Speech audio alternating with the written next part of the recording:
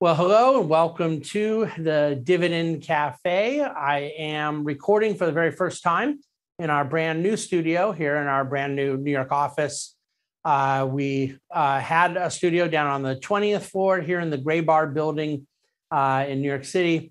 Uh, now we're on the 22nd floor of the same building and in our kind of new and improved offices for the Bahnsen Group and uh, in a new and improved studio. So uh, hopefully, it looks and sounds good for you. I was on. I did my first uh, television appearance for Fox Business yesterday in the new studio, and uh, I I like it a lot. So uh, we're we're you know far more important, I'm sure, than the look and feel of wherever I'm recording for you all is what we're talking about, and what we're talking about today is more of this subject of China. And and I began uh, two weeks ago. I did a kind of dedicated uh, uh, uh, treatment of a number of facets of what is happening geopolitically in China, what its ramifications are for US investors, uh, both on the equity and the debt side.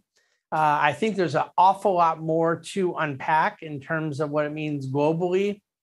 I'm really intrigued by those who believe that it might mean a lot to them if they were invested in Chinese stocks or Chinese bonds but if they just avoid Chinese stocks and bonds, then it doesn't have to affect them. And I think that's an unbelievable error in thinking. Uh, I'm not talking about something that is uh, limited in its impact. I'm talking about something that is global in its impact uh, economically uh, and, and certainly in terms of the sort of hegemonic forces at play uh, between the US, China, uh, between the, the world's reserve currency, that is the dollar, and what China's aspirations for its own currency are.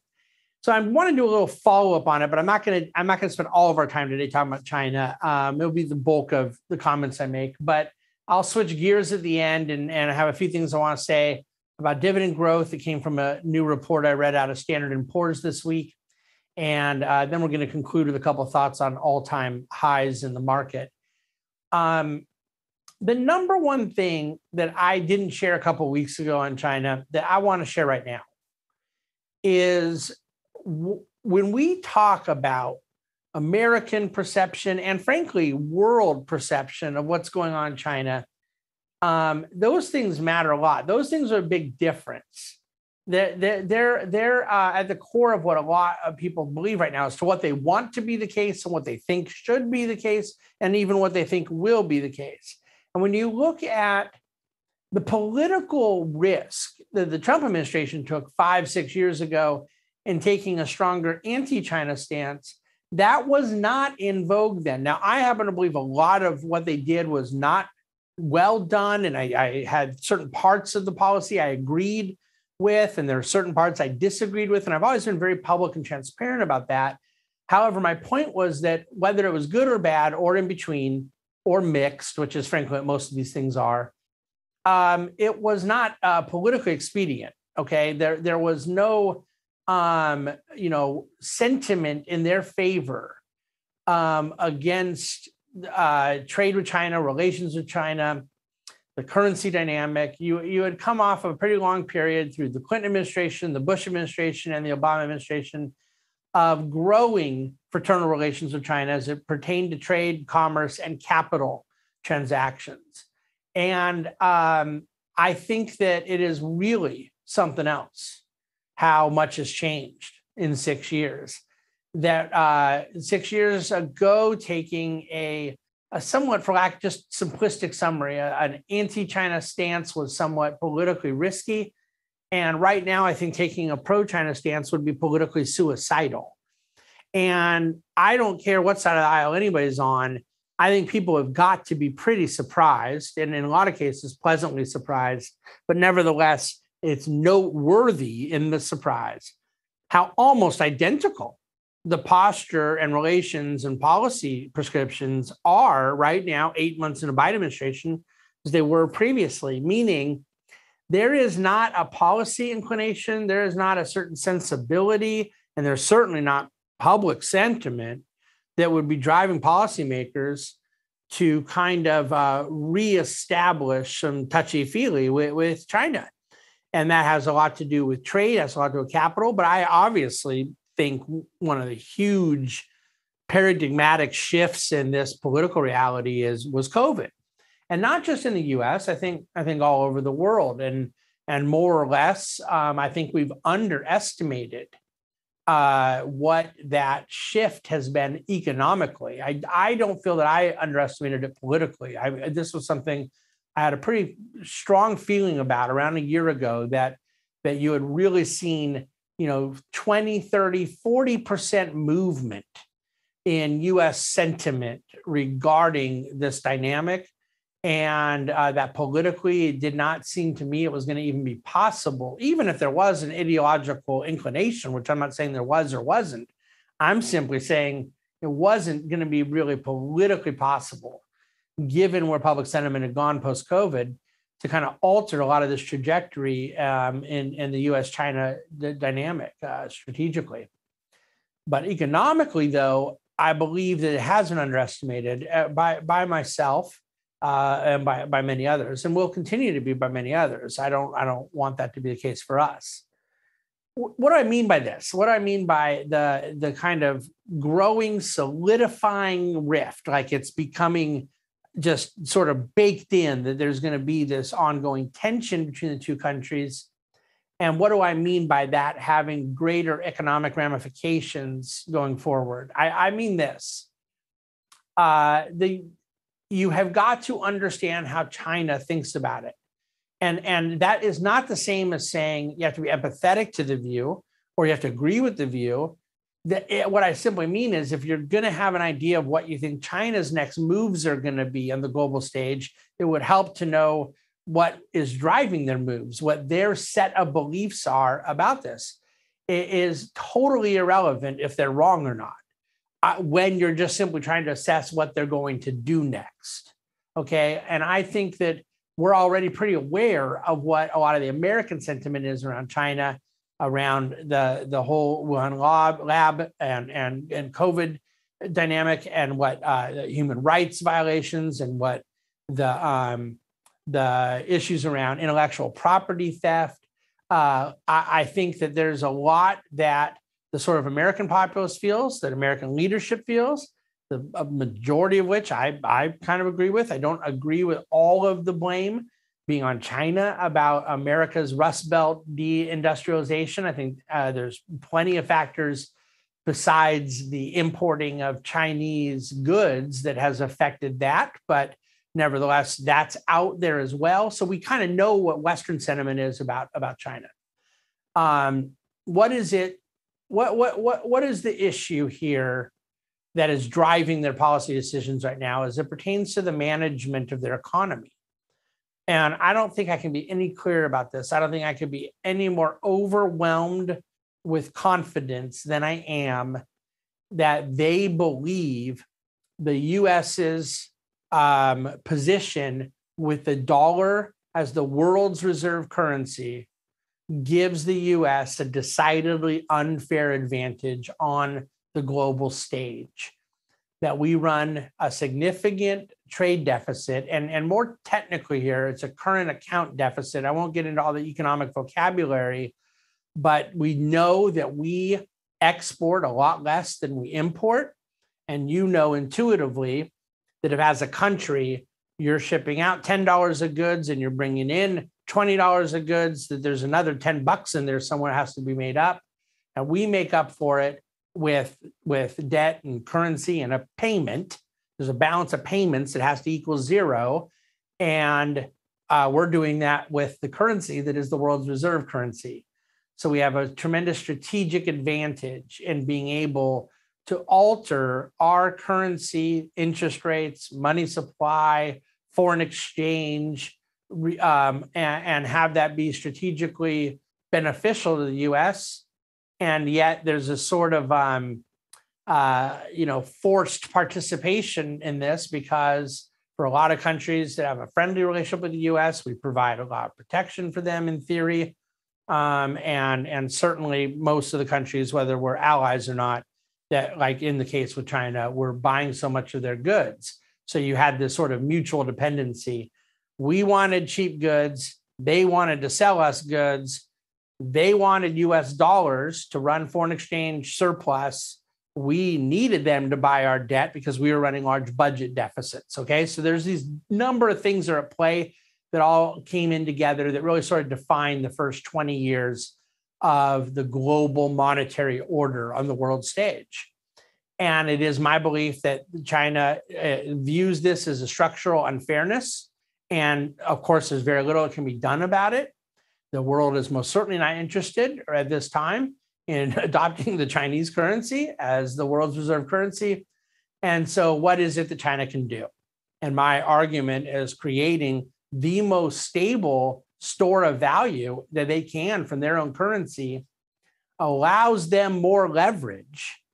It, it, first of all, allowing a payment system to take place as Asian countries trade with Asian countries weakens the dependency on US dollar, would devalue the dollar, would weaken the demand for dollar, and would create greater demand for China's currency. So they kind of create a self fulfilling prophecy with a stronger currency unit, there's more that can transact with the currency. And the more transaction with the currency, the more strength in the currency. And that is the, the virtuous cycle they need to see created that they can't allow to be broken. They have to maintain significant foreign exchange reserves and, and obviously avoid the budget deficits that, that really are kind of the driver of, of US uh, current account deficits at the end of the day. We're, we're not a country that saves a lot, as you know. And so I think that this is very important to understand that um, China right now has taken a position of um, really going to war with their billionaires and with their uh, capitalists, their entrepreneurs. Um, and that is impacting US investor uh, results in that in that region. And, and as I talked about a couple weeks ago, it's entirely consistent with their desire to diminish their dependency on that Western flow of capital, that Western access to capital, mar- the access to Western capital markets, uh, Western technology, Western social infrastructure. Um, but that when you look to almost every aspect of the sovereign debt, um, of forcing the debt to have to kind of trade within their limited market, not allowing a total unfettered trade of capital. Um, but that limited portion has the impact of liquidity, but it enhances that value. If you're going to have limited liquidity, the one thing you're going to do to make sure you get a good bid is that it maintain its value. So you have a yield premium, you have to have uh, stability and, and, and dependency and so forth. And so I, I elaborate a bit more about this in Dividend Cafe. And I think even the way I'm saying it right now, a lot of it may seem a bit more high end, uh, you know, academic jargon or things like that. I'm trying my best not to do that. I want this to be understandable. If there's something I've said that I can unpack a certain sentence or vocabulary, I'm happy to do it. And maybe maybe you're getting all of this. You know, there's different levels of kind of immediate comprehension I expect from those who listen to Dividend Cafe. But it's important to me that you kind of understand the thinking here we're at the end of the day, this is sort of the summary line, I, th- I think, of what we're we're facing. There is one thing that is, I think, paramount right now, Chinese policymakers through their hegemonic aspirations, and that is to maintain their currency as an attractive store of value that on the margin um, uh, enhances its competitiveness to US dollar. And there's one thing that fixed income boring bond investors want is a, st- a good stable store of value.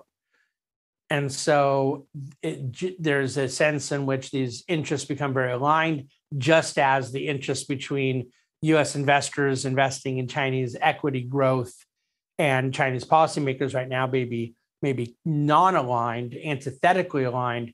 The opposite case taking place here on the other category so uh, next week uh, I'm going to try to devote the Dividend Cafe podcast to an interview with Louis Gave of Gavekal Research, who I believe to be one of the foremost experts on this subject in the world, and someone who has been a tremendous influence on me with it. Uh, there's a number of the conclusions he's drawn that I agree with. There's a number he's drawn that I am not sold on yet, but I want to unpack this and continue this dialogue uh, for listeners uh, and viewers of Dividend Cafe. Um, a couple other subjects, real quick, and we'll wrap it up. Dividend growers within the U.S. equity market, um, the inherently defensive characteristic. You know, we came out of the COVID moment where that really stable, really consistent, really normal, historical defensive reality didn't play out as it normally does with the carnage in the energy sector. But um, the fact of the matter is that S&P has made available the data around the downside, the drawdowns, the level when the market has gone down X, how much just the dividend growers have gone down uh, uh, through the past several uh, significant checkbacks and, and in fact, even um, over, you know, 15, 20 years. Um, the uh, upside downside capture, how dividend growers have a larger capture of upside than they do downside, where of course the upside and downside capture is even for the whole index.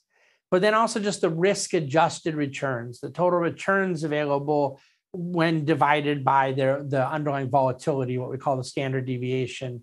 Um, and doing so over three years, five years, seven years, 10 years, 15 years, all put into dividendcafe.com today to see the superior risk adjusted results, even in this post crisis FANG world of dividend growth, let alone, as I've been documenting for years, just the basic absolute return improvement over 30 years that dividend growers have provided. Um, so a number of metrics there on dividend growth that I just think are very interesting that we've put into Dividend Cafe today.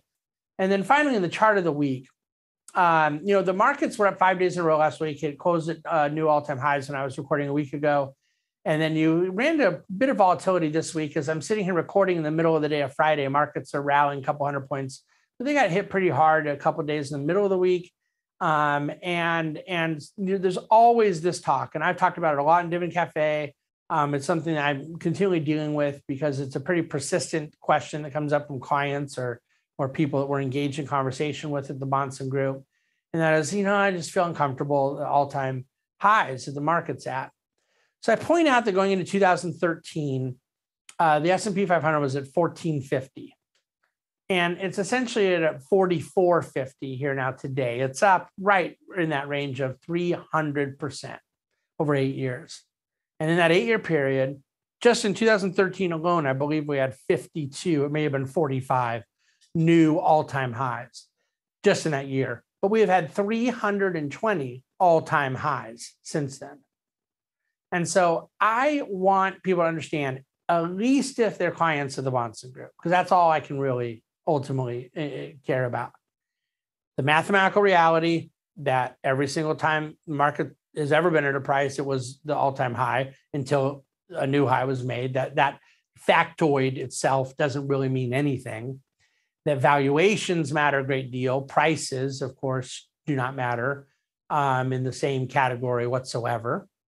And then the just utter futility. Can you imagine believing going into 2013 that one was uncomfortable at the all time high and saying they were going to wait for, I don't know what really. And I don't think the person who says it does either. But there's a kind of an understandable, intuitive, emotional aversion. So I'm going to wait. You know, this all time high thing scares me and you get 320 new all-time highs and the market triples. The, so so uh, that i mean we, we would never allow that to happen to for a client. We will do the work of talking through the very things i just talked about.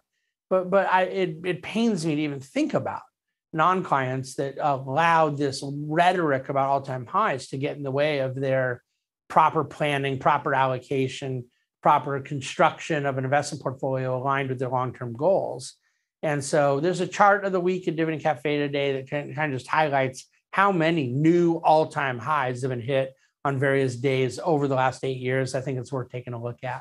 So that's the kind of uh, uh, triple whammy of Dividend Cafe today. I hope it's been of interest. Please do reach out with any questions and looking forward to finishing up the month of August. Uh, next week, uh, kids going back in school. Hallelujah. All sorts of good things. In the meantime, reach out if you have any questions. Every single one of the advisors of the Bahnsen Group is on the ready to talk with you anytime, anything we can do to help and assist. Thanks for listening to and watching the Dividend Cafe.